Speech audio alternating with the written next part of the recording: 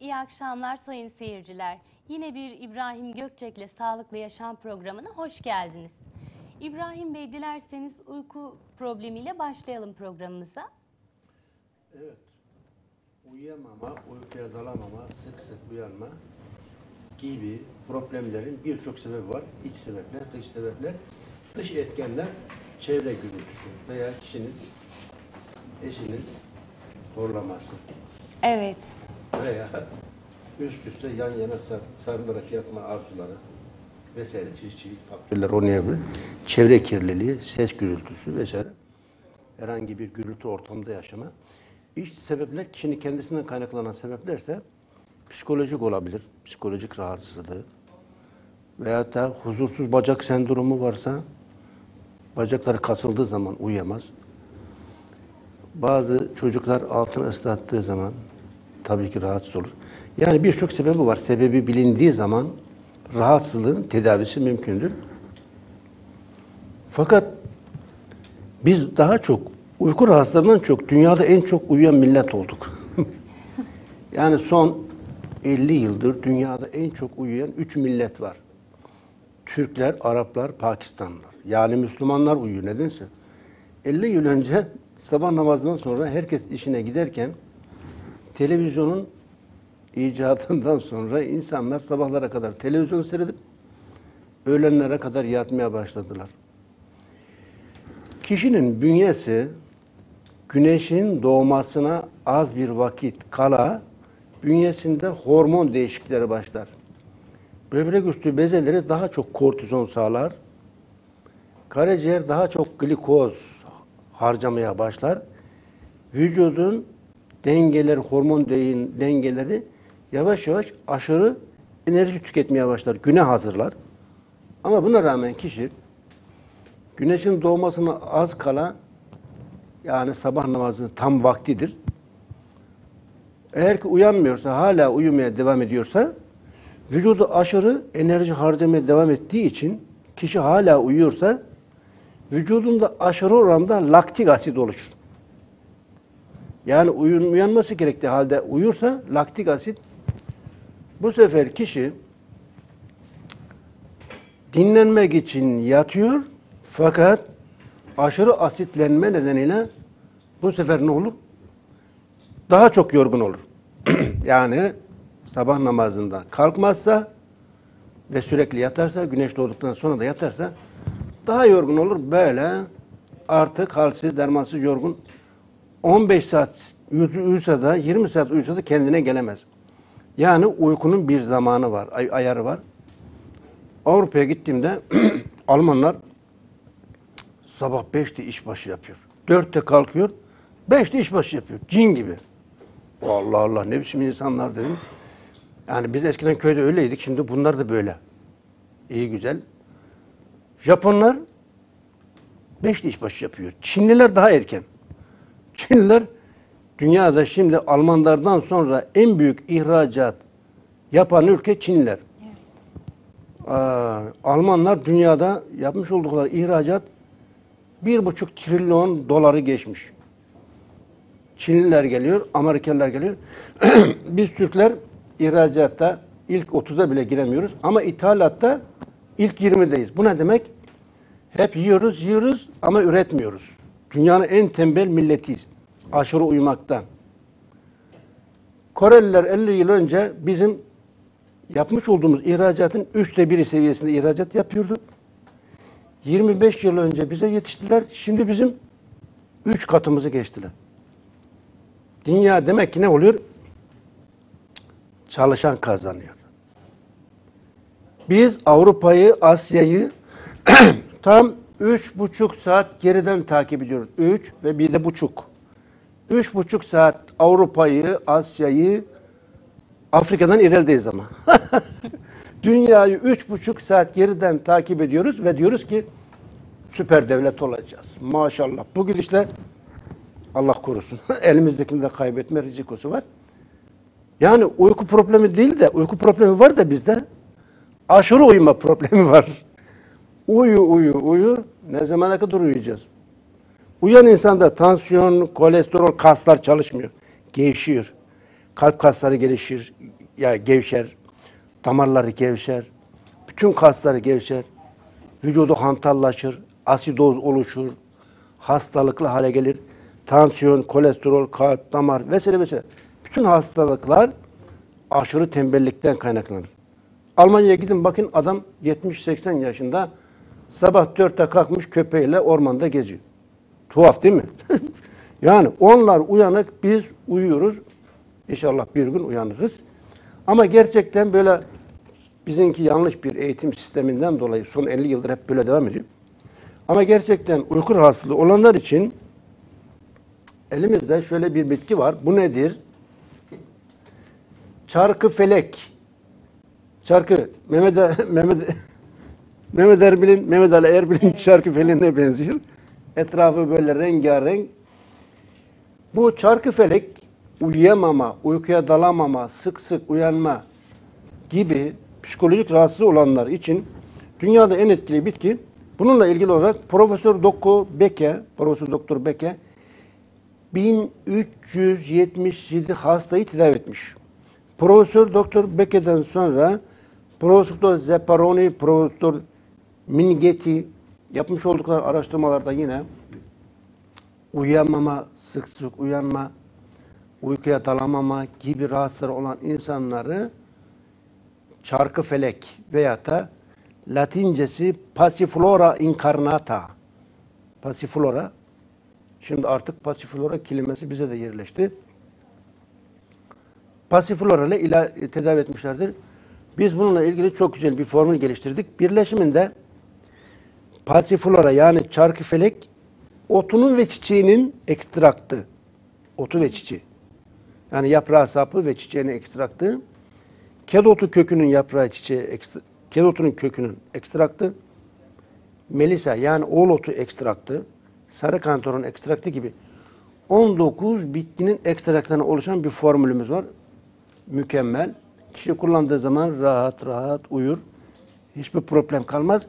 Zaten pasiflora ile ilgili dünya çapında bu klinik araştırmalar 1991. Evet. Yani o günden bugüne kadar yüzlerce klinik araştırması yapıldı. Ben sadece bir klinik araştırmasından bahsediyorum. Bir iki örnek veriyorum. Pasiflora mükemmel uyuyamayan, uyku rahatsızlığı olan insanlar için. Ama aşırı uyuyanlar için de o daha kötü. Çünkü çok uyuyanlar çok tez yaşlanır. Kalp kasları gevşer, vücudu gevşer. Birçok hastalık ortaya çıkar. Ee, 70 yaşında şey 30 yaşındaysa 70 yaşındaki gibi kırışır bütün vücudu cildi. Nineler gibi olur. Evet. Evet bir diğer konumuza geçelim o halde. Asidoz nedir? Bitkilerle destek mümkün müdür? Evet, asidoz kişi doğduğu günden öleceği güne kadar kanının pH değeri kişinin 7.40 hafif alkalik. Kanın pH değeri 7.35'e doğru hafif kaydı mı binde bir binde ikilik bir asidoz kayma. Asit baz dengesinde hafif kayma hayati tehlikedir. Kişi ölene kadar bu kanındaki asit baz dengesi özel sist- kimyevi tamponlarla bikarbonat ve hidroklorik asitle sürekli dengelenir. Midemiz bir hidroklorik asit salgılar yani mide asidi. iki sodyum bikarbonat salgılar.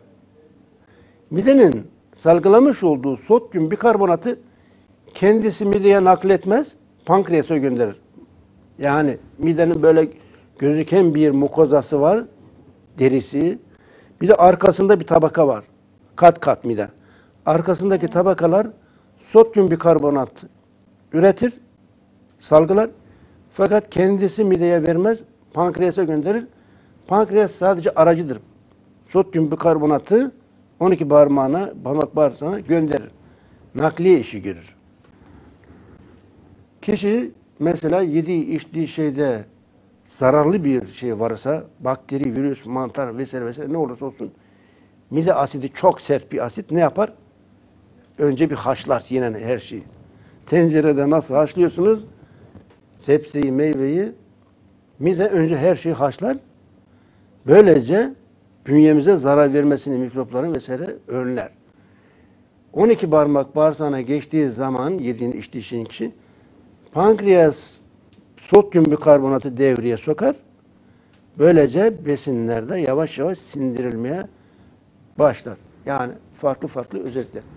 Şimdi neden kişinin kanı asitleniyor?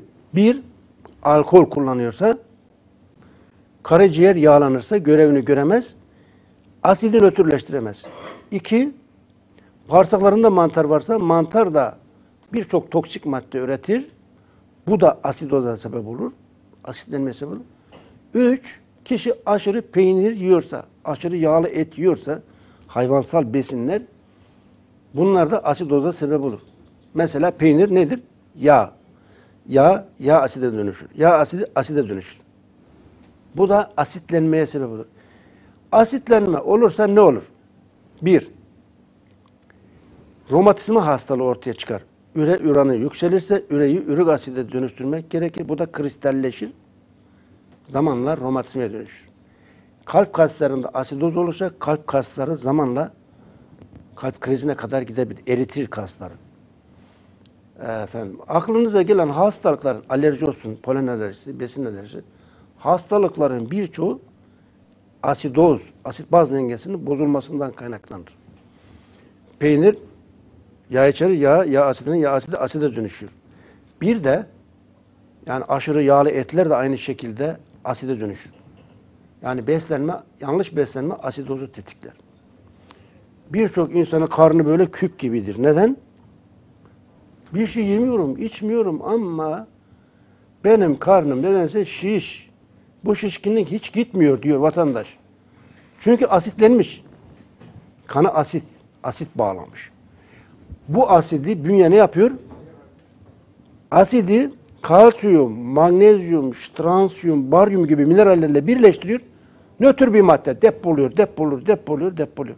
Mantarların üretmiş olduğu toksik maddeleri de depoluyor, bünye depoluyor.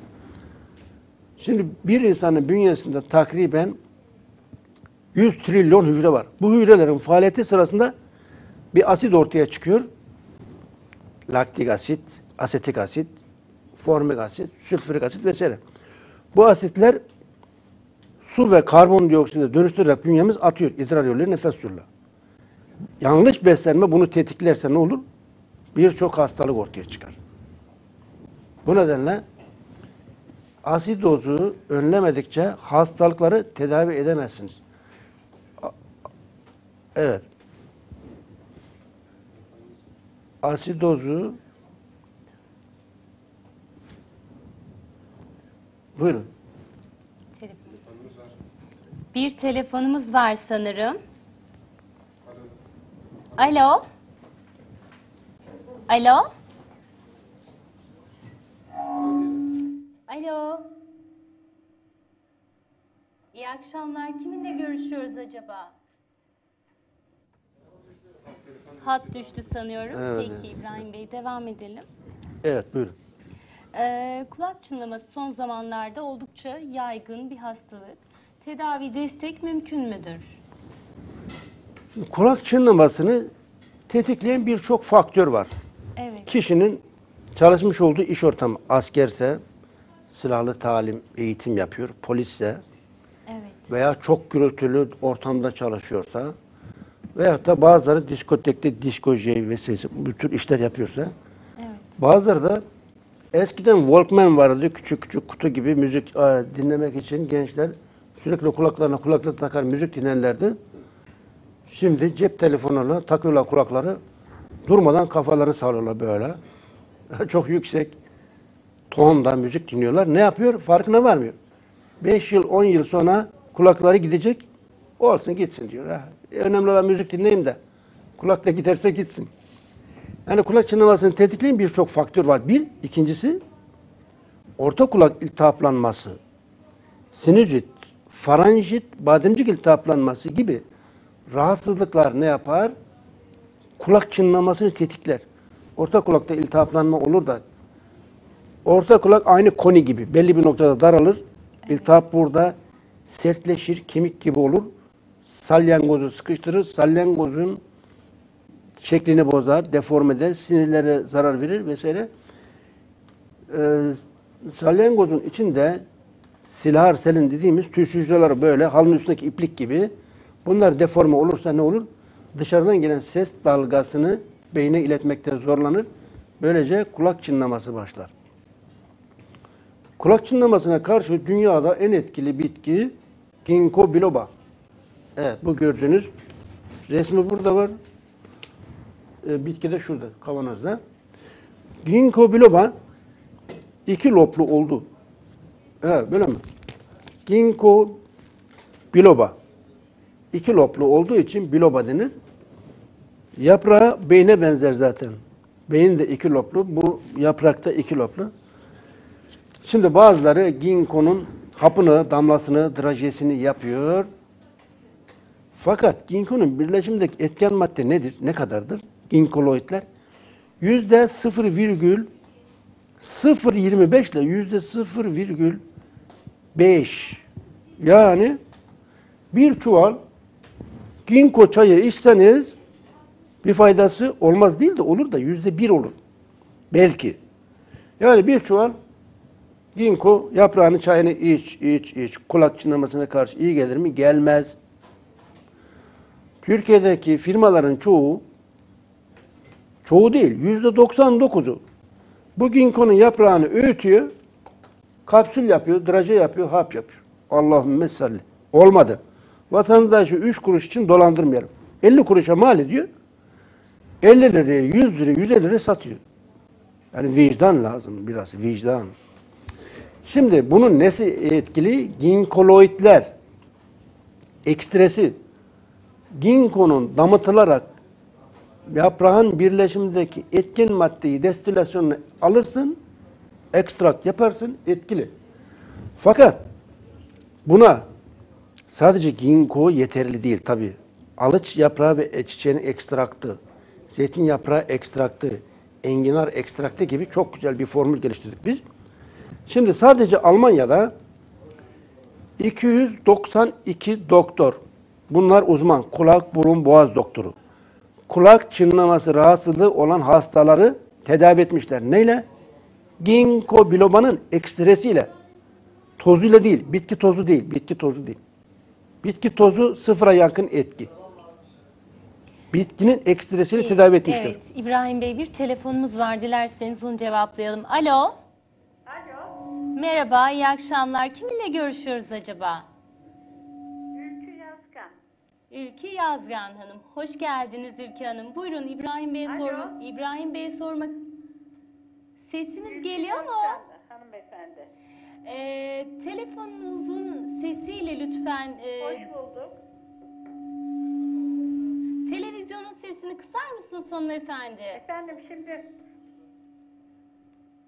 Telefonumuzun sesini kısalım hanımefendi. Telefondan cevap verelim. kıstım. Peki. Buyurun İbrahim Bey'e sormak istediğiniz nedir? Şimdi e, iyi akşamlar diliyorum. Hayırlı E, benim İbrahim Bey'e sormak istediğim, beni eve benimki k- kulaktaki kristallerin yerinden oynaması. Yani hastalığım. Fakat şöyle bir durum var. Benim başım dönüyor. Kulak çınlaması yok bende. Evet, evet. Duymada da noksanlık yok. Fakat e, korkunç derecede başım dönüyor. Evet. Böyle bir durum var. Acaba buna bir e, şey olabilir. Ben doktora da gittim. Doktora gittim. anladım. Beynimin tomografisi falan çekildi. Meniyle. Fakat e, ilaç da alıyorum. Evet anladım. Bir netice alamadım da acaba bitkisel bir çözüm var mı diye. Tabii tabii var var var tabii tabii. Şimdi şöyle. Kulak yani salyangoz denmesinin iç kulağın içinde salyangoz denmesinin şek- sebebi organa salyangoza benzediği için. Üstünde iki tane anten gibi yay var. Eğik yay gibi. Bir de yatay yay var. Üç tane yay var salyangozun. ikisi üzerinde, biri yatay. Şimdi bu yayların içerisinde kristaller var. Yani bunun içerisinde sıvı var. Kristaller oynarsa, bunun içerisindeki sıvı azalırsa veya çoğalırsa tansiyondan, yüksek tansiyon, düşük tansiyon, vesaire çeşitli sebeplerden dolayı denge problemi ortaya çıkar. Denge probleminin Evet. sebebi bu. Özür dileyerek lafınızı kesiyorum. Kısa bir reklam arası yine burada olacağız.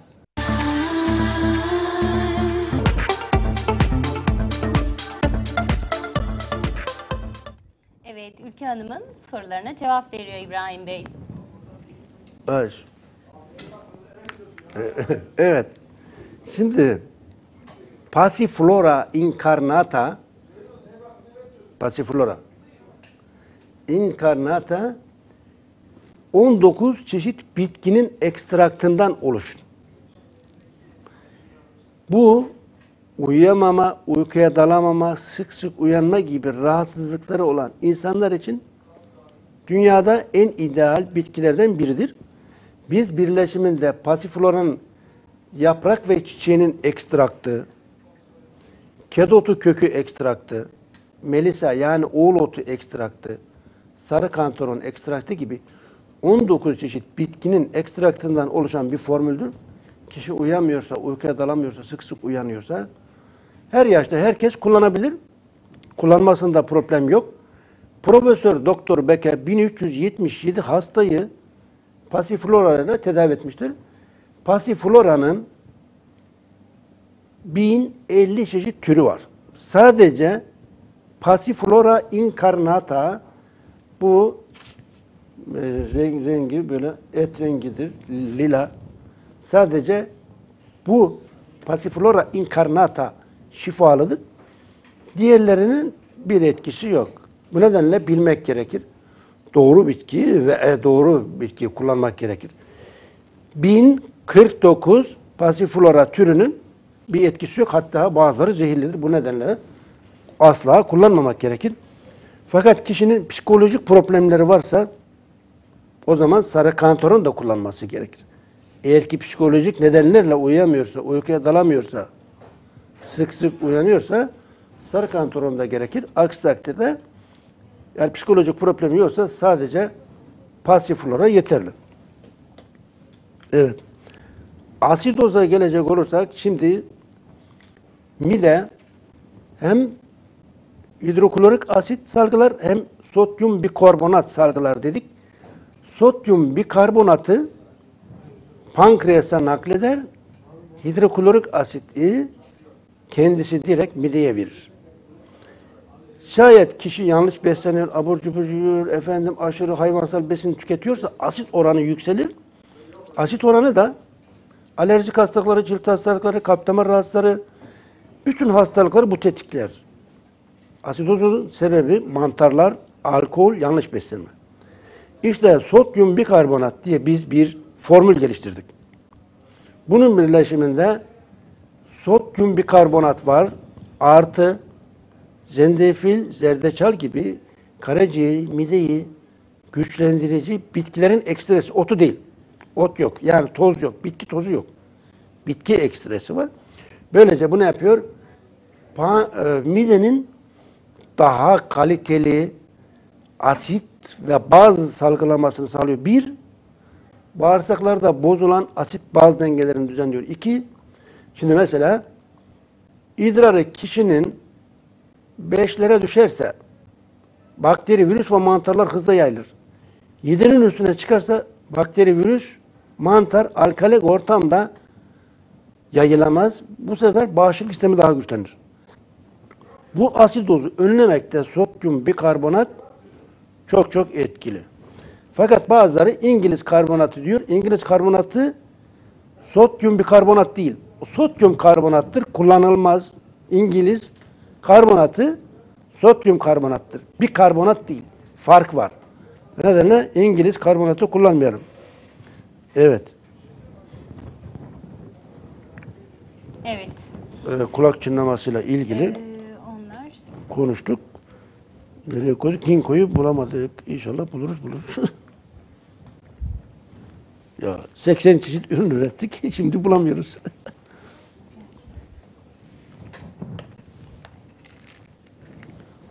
Elhamdülillah. Evet. bademcik iltihaplanması e, konusunda ne diyorsunuz, ne düşünüyorsunuz? Evet, bademcik iltihaplanmasını tetikleyen birçok sebep olabilir. Bakteri, nadiren virüs, çok nadiren mantar. Şimdi kişinin bağırsaklarına mantar yerleşmişse bağırsaktaki mantarlar boğaza da yerleşebiliyor, yukarı çıkabiliyor. Faranjite sebep olur. Zamanla tetikleyerek bademciğe de sebep olabilir. Benim küçük oğlum sık sık hastalanıyordu. Bademcikleri ceviz kadar olmuştu. Doktor dedi ki o ameliyat olması şart artık yapacak bir şey yok. Ne zaman ameliyat? 6 hafta sonra anca yer bulabilirsiniz. Tamam dedim. 6 hafta sonra biz zaten hallederiz. Nasıl halledeceksin? Ben hallederim. Problem yok. Ben ona ada çayı, kekik, 19 çeşit bitkinin ekstresinden oluşan ada çayı forte ve iksir. Sürekli düzenli verdim çocuğu.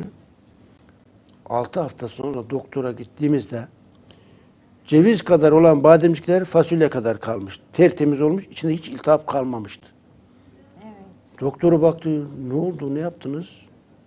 Antibiyotik mi? Hayır, antibiyotik kullanmadık. Ada çayı forte ve iksir kullandık. O da neydi? evet dedim, o da özel bir formül. Almanya'da bu, bu Türkiye'de değil. Evet, ada çayı forte ve iksir kullandığı zaman kişi bademcik rahatsızlığından çok kısa sürede kurtulur. Ameliyat olmasına gerek yok. Çünkü buradaki bademciklerin çok özel görevleri var. Nedir bunun görevi? Yediğimiz besinlerdeki bakteri, virüs ve mantarlar hemen enfeksiyona sebep olabilir. İşte enfeksiyonu önleyici e, bademcikler ne yapıyor? Çok özel T hücresi, B hücresi lenfositler salgılıyor. Yani bunlar garnizonun önündeki iki asker gibi. Bekliyor. Nasıl ki asker teröristi tanır, tedbirini alır, zararlı maddeyi yok eder. Bademcikler de hemen burada boğazda oluşabilecek enfeksiyonu önler. Yani salgılanmış olduğu özel hücrelerle. Evet. Evet. Evet, sinüzitle alakalı bitkisel destek mümkün müdür sinüzit hastalığına İbrahim Tabii. Bey? Şimdi bu ıtır, forte, eskiden Güney Afrika'da bu altın ve elmas madenlerini keşfinden sonra binlerce insan Afrika'ya yerleşti. Zengin olmak için. Altın bulmak, elmas bulmak için. Elmas ve altın bulacağım derken insanlar ne buldu? Hastalık buldu. Çünkü üst üste sırt sırta yan yana yer yok, otel yok, motel yok. Hep hastalandılar. Zatire, bronşit, verem vesaire vesaire bir sürü hastalık ortaya çıkınca ne oldu? Afrika'nın yerli kabilesi, Zulu kabilesi hastalanan insanları özel bir çayla tedavi ediyor. Araştırdı, e, İngiliz asıllı bir ilim adamı araştırıyor. Diyor ki bunları nasıl tedavi ediyor? Aa, bakıyorlar bir bitki kaynatıyor. Kökünü hastaları tedavi ediyorlar. Araştırıyor ki bu Pelargonium zideoides, Pelargonium reniforme isimli iki ıtır türü. Itırın, ıtıra zardunya giller. Yani bunun yüzlerce alt türü var ıtırın. Yani bine yakın türü var zardunyalar. Eskiden balkonlarda çok sık görürdünüz. Hemen hemen eskiden balkon, şimdi göremiyoruz maalesef. Plastik çiçekler var. Eskiden doğal çiçek olurdu. Süs bitkisi yetiştirirdi insanlar eskiden. Bu ona benzer ama çok güzel çiçeği var. Pelargonium'un böyle lila çok güzel çiçeği var. Bunun kökü sinüzit, faranjit, bronşite karşı dünyada en etkili bitki. Nereden biliyoruz?